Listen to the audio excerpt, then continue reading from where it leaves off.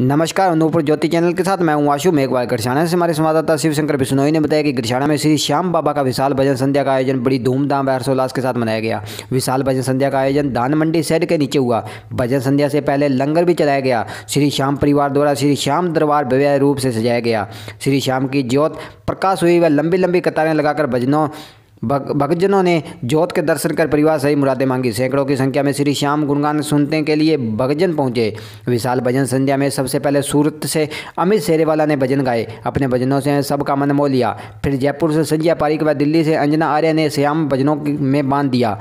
पूरे कार्यक्रम का मन संचालन दर्शन गर्ग ने किया। दिल्ली से कानूंडा म्यूजिकल ग्रुप व दिल्ली से भव्य झांकियाँ निकाली गई। इस भजन संध्या में भक्तों ने नाच नाच कर फूलों की बरसात करते हुए ढोल नगाड़ों के साथ पूरी मंडी में श्याम रंग से वातावरण शुद्ध कर दिया। भजन संध्या में सैकड़ों की संख्या में बच्चों महिलाओं व्यापारियों गणमान्यों ने सहित राजनीतिक हस्तियों ने शिरकत की।